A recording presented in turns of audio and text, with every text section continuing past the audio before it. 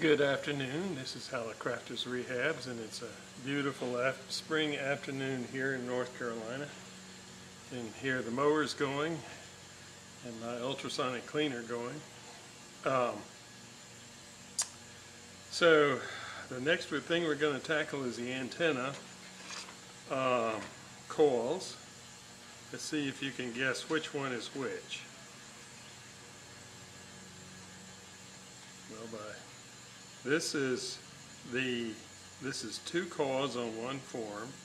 This is the broadcast or AM band.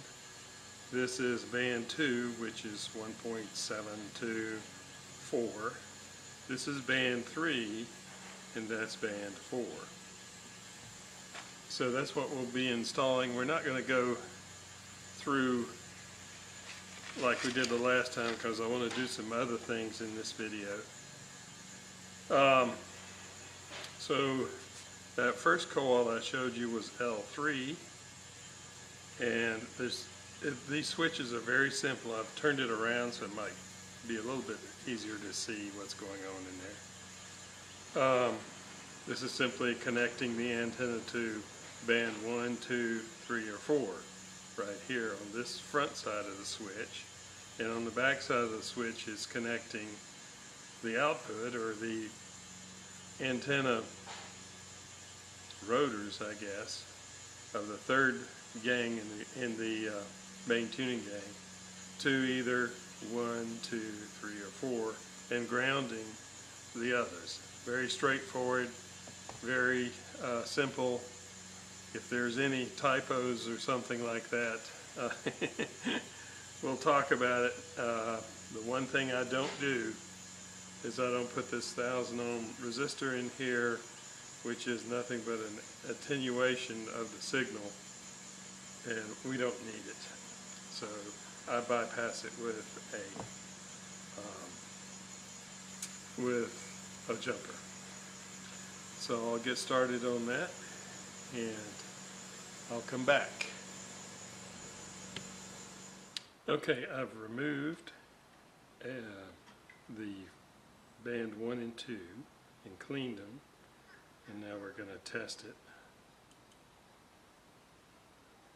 That's 26 microhenries and that's band 1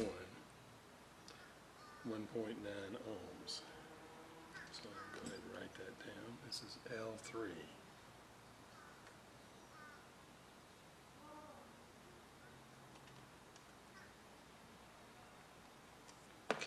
then we'll do D to C.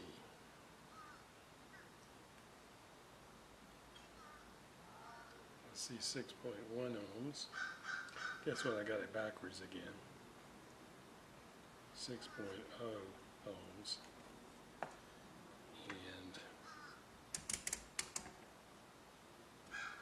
145 microhenries. So C and D is band 1 and A and B is band 2. Okay, so we'll, we'll coat this with dope and mount it up and then we'll come back. Okay, I've removed uh, the band 1 and 2 and cleaned them and now we're going to test it. That's 26 microhenries. And that's band 1 1.9 ohms. So I'll go ahead and write that down. This is L3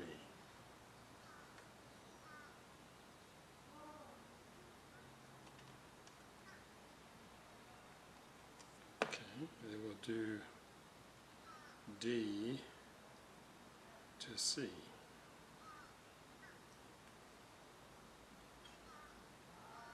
See 6.1 ohms. Guess what, I got it backwards again. 6.0 ohms. And 145 microhenries. So C and D is band one. And A and B is band two. Okay. So we'll, we'll coat this with dope and mount it up, and then we'll come back.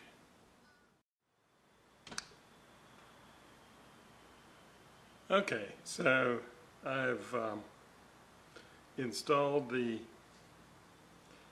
band one and two antenna coil and the pointer.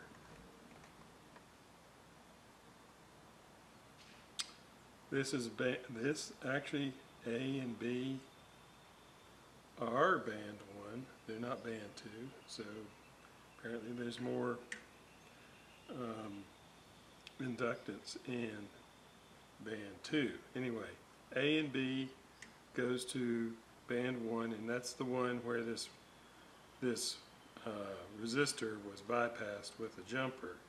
What confused me was this intersection here is is not an intersection, it, it, and so you want to read a thousand ohms to pin two, but it's not. It's a it goes to pin one. So two goes all the way to D, right here. Two, uh, two goes to D, one goes to B. So, uh, that's installed, and I did put a little piece of shrink wrap over this one because it's so close to the um, to the live part of the antenna uh, connector, the PL259. Actually, it's an SO259, socket 259. And uh, I didn't want, it's, it doesn't inter- interfere, but it's really close. So now we'll proceed on to uh, band three. Okay, so let's um, go ahead and test these uh, bands three and four. Here's band three. You measure from A to B.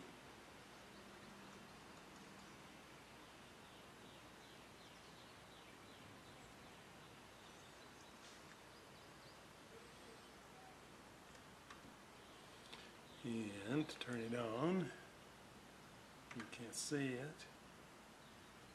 Very hard to see. Turn it that way, okay. So I see uh, resistance of 0.3.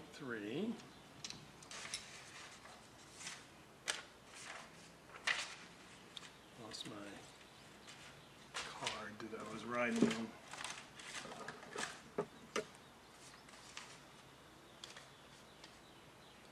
So this is L2. And B and A is 0.3 ohms.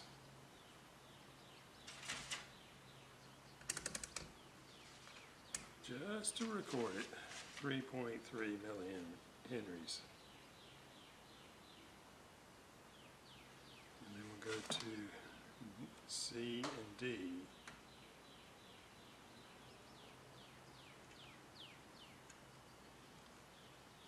Okay. There's 1.9 millihenries.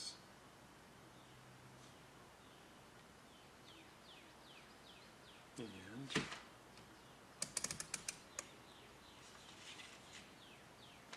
ohms.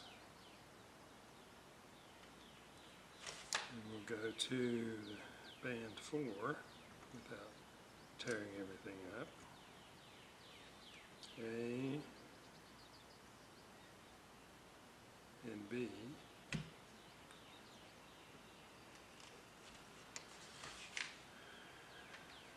Point two millihenry, this is L one, this is L one.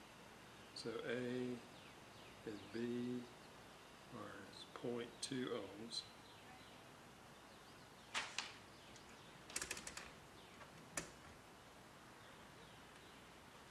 Point eight.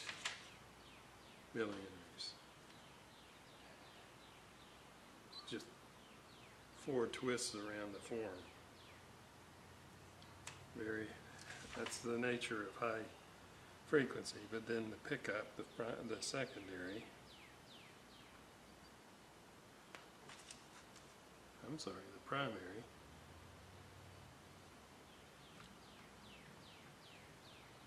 You actually get some amplification on these coils, a little bit, a few dB.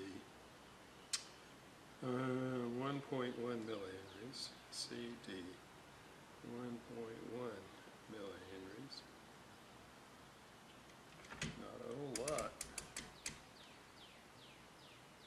Point four ohms. So, we made our measurements, and we'll go through hooking them up. I'll go back.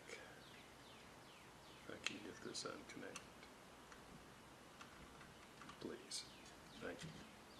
If you say please, it works. I rarely ever say please to electronics. I should do it more often.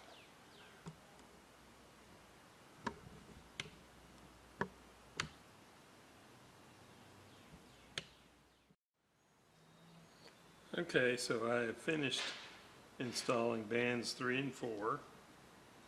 The ground comes to this point and to this point, and then there's a lead that goes to the stator in the antenna section. And I put it inside a shrink wrap. Um, this is your A1, goes into the switch. Your A2 uh, connects both to this coil and this coil. Then you have band 1, band 2, band 3, and band 4 on this side of the switch. And then you have um, the, there is a primary, uh, on this, uh, there is a primary connection for these two coils, and it connects to the switch. This is position one, and that's position, actually it's position,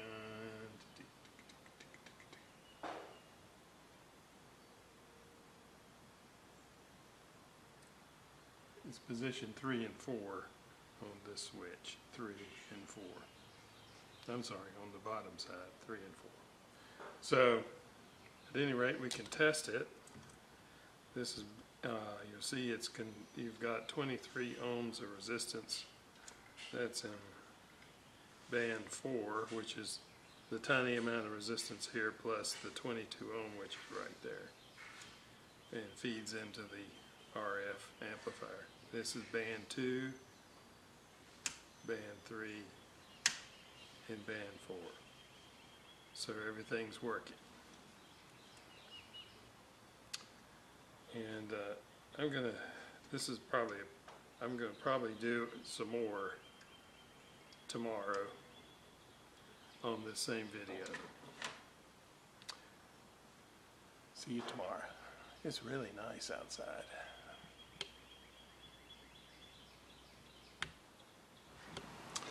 Okay, so now we're at the point of putting controls into the front. And the first thing we're going to do is we're going to put in the sensitivity control. Basically, it sits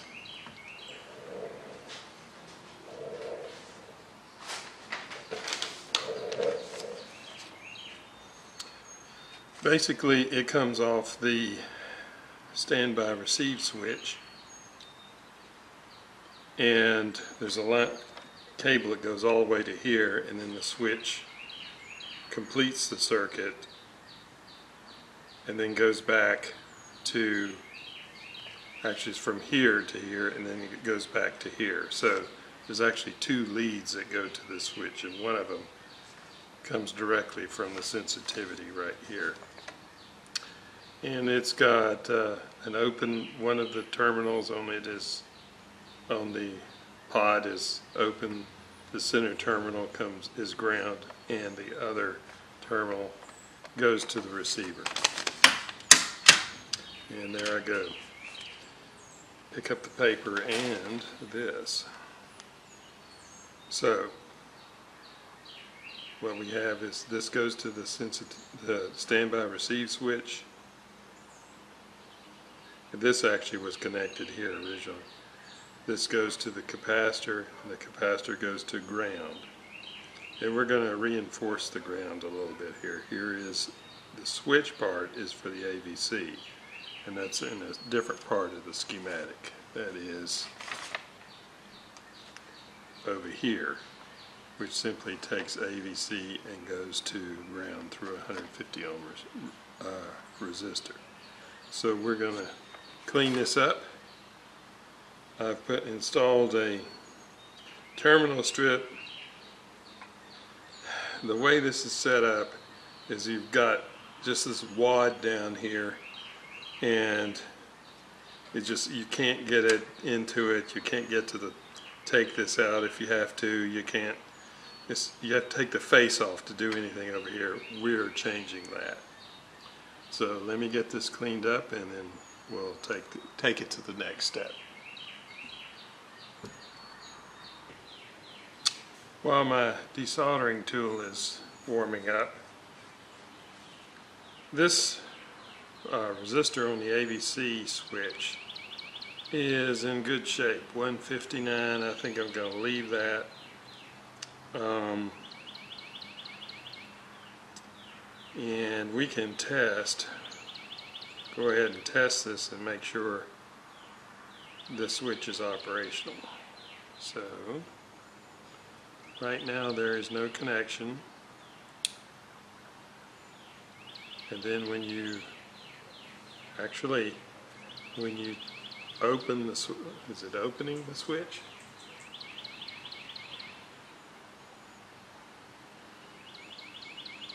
Yeah. Huh. When you connect it to ground, there's no AVC. All right.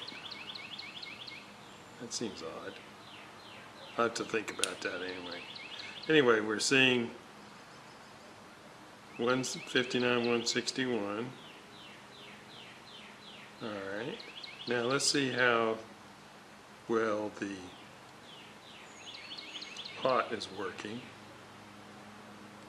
So we'll connect to here, which is, all right, so it's showing 0.78.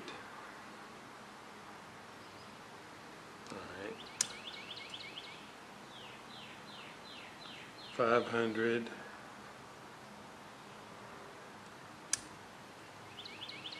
Four K.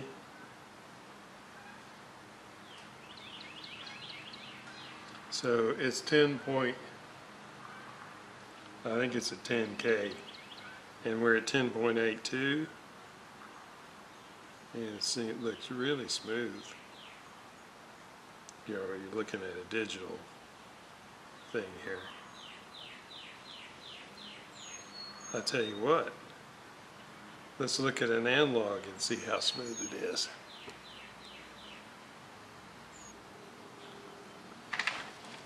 Well, so much for this. It needs to replace the battery, so it's a C battery, so we'll have to do that later. Okay, so anyway, 10.8. But it's, I don't see any real dead spots. Now down in the low ohms area.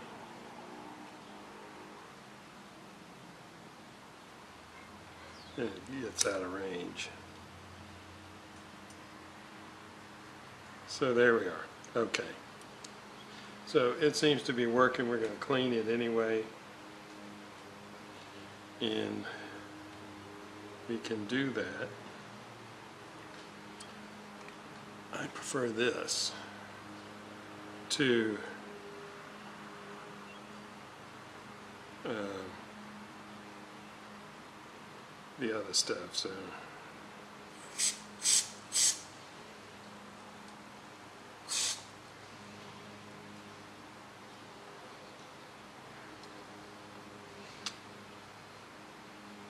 has a nice smell to it too. Should have wear gloves. Gloves are at a premium right now. So we'll pass on that. It's very volatile, so it comes off quickly. Does a nice cleaning job. Super HFE Electronics Cleaner. Nettoyant pour électronique, électronique, my butchered French.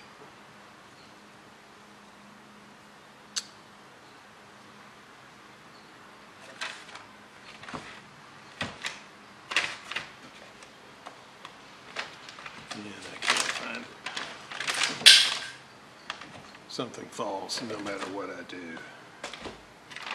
There it is. Deoxit, right. I don't like what deoxit does to these phenol insulators and switches and things like that. And since it's working, and we don't need to get inside, much as I'd like to. Okay, we'll clean this up, come back. I mean, electronic wise.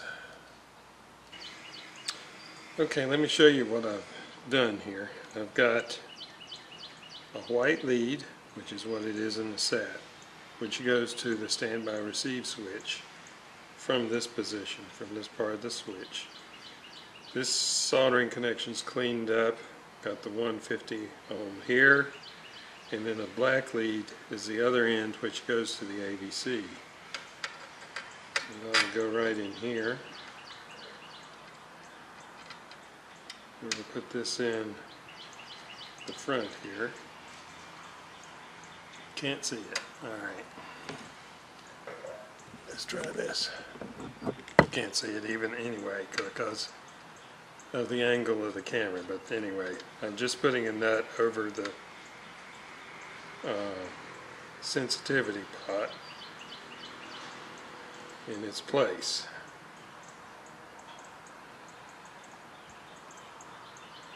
Just hand tightened right now. So this will go to the AVC. I went ahead and soldered that so you can see where things are. And this is out of the way. That's out of the way. That will go through this grommet over here and there'll be a lead that comes back in from the standby swi receive switch. Then this is the capacitor which is over here. Still, the lip of that will be over it, but it's not, it's more accessible than it would be otherwise, I think.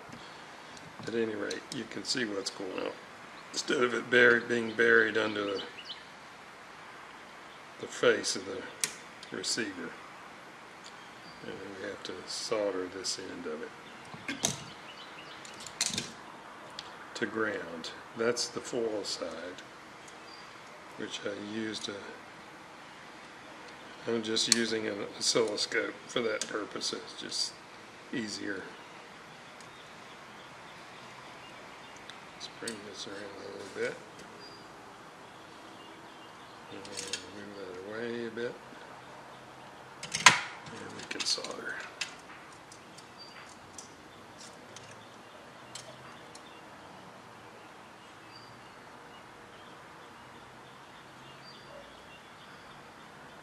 Without burning the capacitor, please. That's right. Nice and silvery. Okie doke. So, just to prove that uh, once again that the tiny chiefs are useless, here we are with uh, this is what was replaced.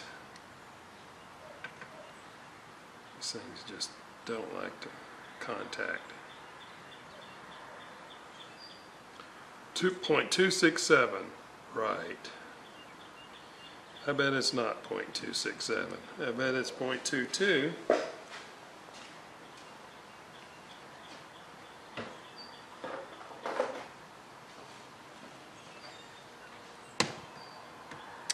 Set on normal P, poly, whatever.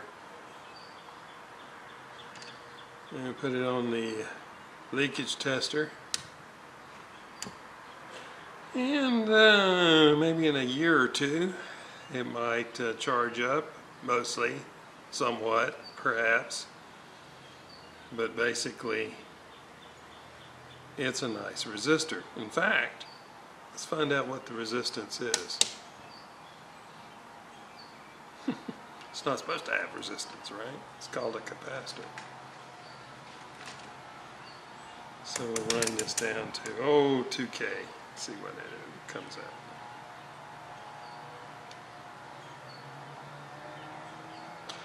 I don't have the curve tracer built yet. Okay, it's not, it's showing open, but it's got plenty of, it just, that's just because the, there's not enough current in a ohm meter to cause a capacitor to show its real color. So another useless tiny chief in the trash. All right. Well, that's enough damage for this evening. We'll do the function switch, which goes right here, tomorrow.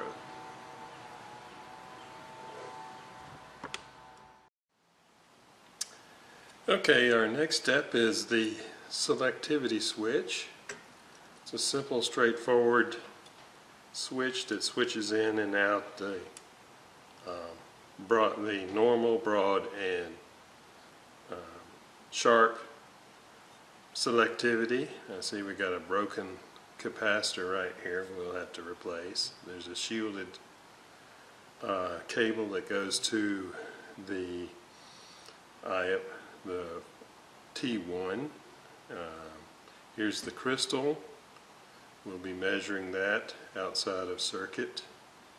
Needs a little bit of cleanup here. I see um, there's a 10 picofarad ceramic capacitor which has a tendency, this, this whole thing has a tendency to short here because this gets loose so we'll be working on that and so we need to get all this cleaned up and then we'll mount it inside the receiver and document it. Okay, so I've finished my reconditioning of the parts here this is the uh, crystal phasing control. I don't know why I can't say words quickly. And this um, I think that's going to be alright. I'm not too happy with that solder connection. Alright, we'll come back. Okay, so I've finished with my reconditioning of the crystal phasing in the crystal uh, terminal strip. This was really difficult to get a some insulation around this to keep it from running into the side of this and also to keep the continuity and to so what it is was after I got the solder in there, I put a little bit of Corona dope on the outside, coil dope, and that should help with the insulation. So, we'll just do a quick test of this.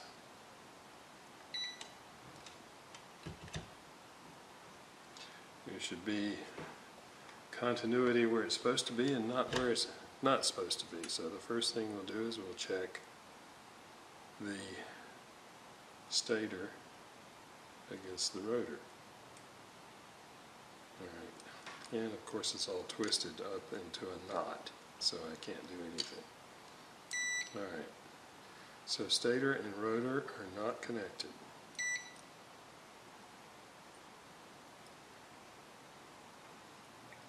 This, is both stator. Alright. So, secondly, we want to make sure that this, which will go to the T1, is continuous back to here. It's a real, okay. And I don't think I can get it in there, but I think it's uh, going to be alright. Get in there. Okay, this should be continuous with this, yes, and with this. No, the other side.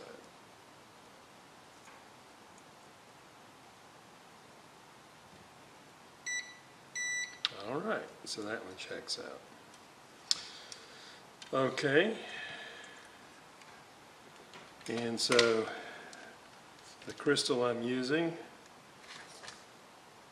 is four fifty-seven point five oh one, the one I had in spare. So I'm doing a test of the crystal to find its frequency. And it's as simple as putting it on a spectrum analyzer and varying the signal generator until the maximum peak shows up on the, on this spectrum analyzer. And it's reading 459.68 kilohertz. So that's the frequency of the crystal. Kind of high actually but uh, that is it is what it is. I'm looking now at a spare. And this one is 457 457.501 simply just varying the signal generator till you get the maximum output. And uh, rather than the one that came out of the set which was 2 kilohertz higher. So this will be the one we put in. It has its own terminal strip but this thing they didn't bother to bend this back and so there was you know this was touching that and things like that. So got that fixed and we'll put this reassemble all this and then we, we'll see the final product so this assembles just like this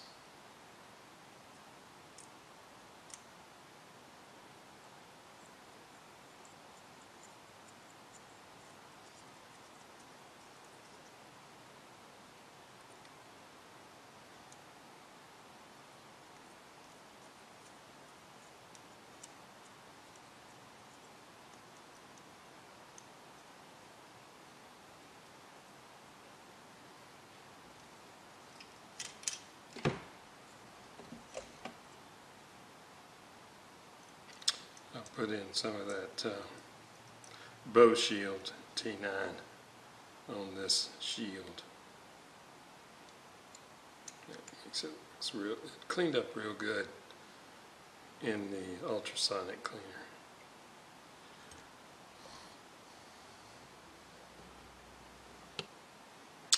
And guess what? I have to do it uh, differently. I got the steps here. It's got to hang on to the bracket.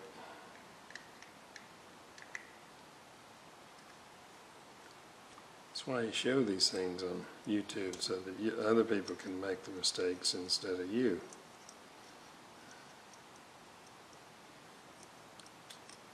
There's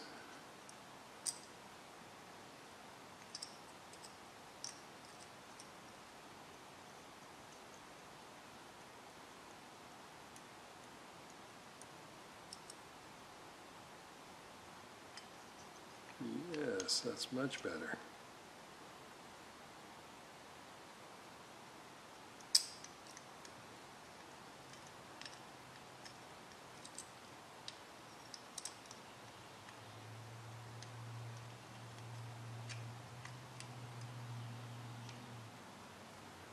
And fishing around and finding that screw is a whole lot more fun now that we have a bracket in the middle.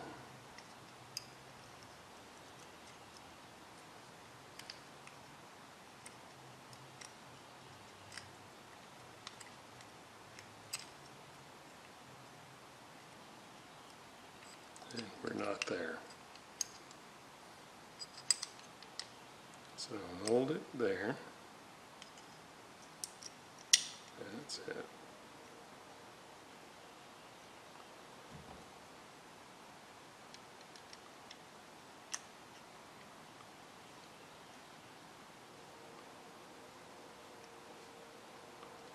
He wants to catch. And he wants to fight too. Okay. Should be able to line up these now.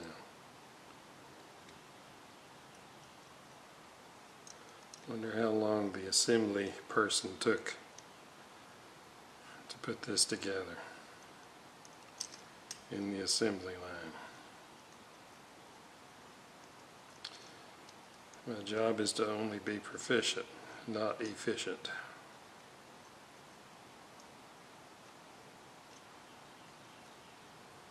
My dad ran a factory, he could do every job proficiently, but he couldn't do it efficiently. And because he could do the job, he knew what it entailed and what the challenges were.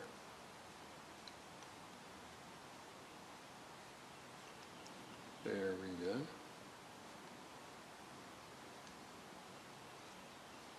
It's not working. It's not anywhere close. So we have to move this around, hold it tight, and try again. We were screwing air. I've never done that before, huh? That's in there.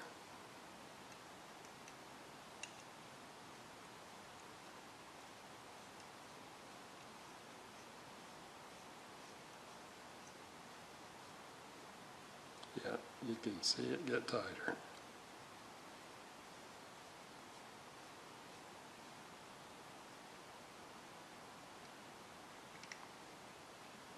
Now, when this goes over to the switch, there'll be no danger of um, shorting.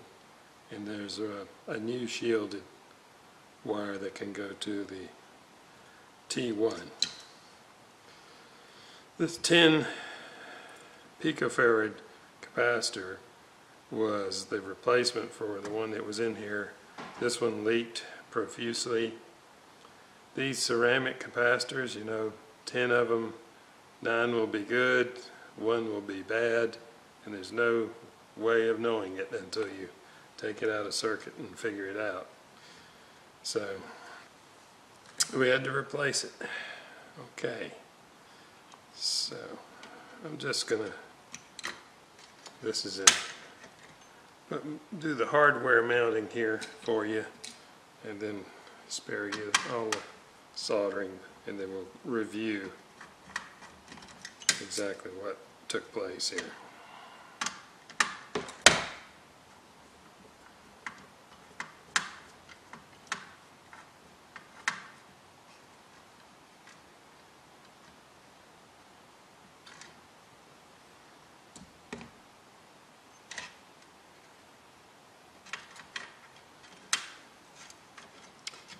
What? I put it in correctly. I was gonna say, I put it in backwards. No, I didn't put it in backwards. I put it in right, I think.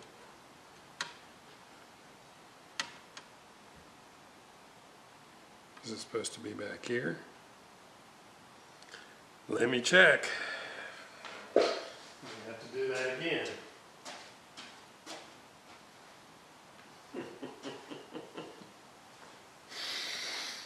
Albert. Hello, Albert.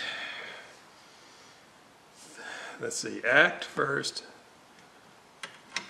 think second, and plan third. Goes around that way. I'm gonna spare you. Okay, I'm back. I would say that I am barely proficient at this part of the assembly line. If I did two radios like this, I would be, uh, go back to floor sweeping at the Hallicrafters factory instead of actually doing something.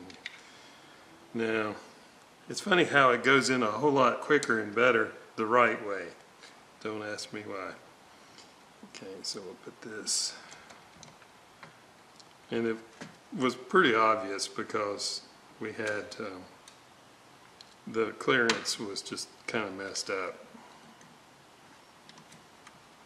The knob was sticking way too far through the through the face. I had a really prominent crystal phasing control in the center of your eye at all times if you put the receiver that, together that way. Okay. There, come on, find the slot. Just it a, use a screwdriver, sorry. You know? Okay, sorry. I believe it was in there. Sorry, screw. Uh, driver screw.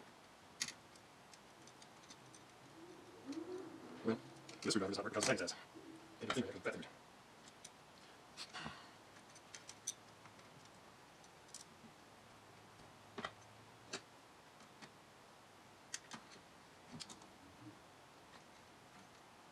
That's a really bad thing to No this is easy. You, you crank up, the right place.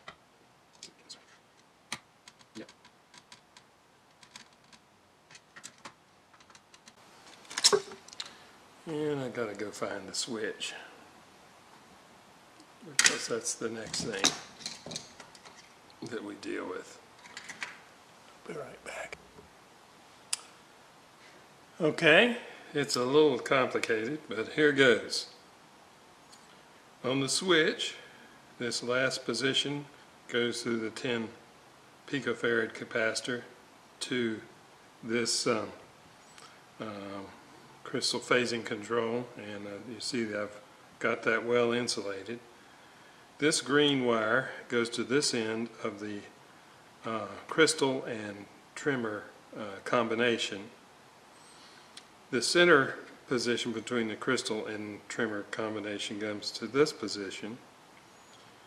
This position is shielded and goes to T1, and this position goes into the um, crystal phasing control. So, still was a lot more compli complicated than it, even the explanation. I've mounted this uh, terminal right here where where it was before. And um, with the new crystal, that's a two kilohertz lower than the other one. So we'll see how that works with the, that, that tube there. I think we'll be all right. And uh, it'll be time for, after this, the volume control here.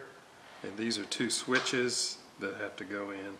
One is uh, BFO and um, normal, and the other one is noise limiter. Then over here is the on-off switch. And that, with that, I'll conclude. Thanks for watching. This is Cal Albert at Hallicrafters Rehabs. Hope you're getting along well. And remember, men aware. Man uh, uh, I'm sorry, mouth, eyes, and nose. Bye-bye. God bless.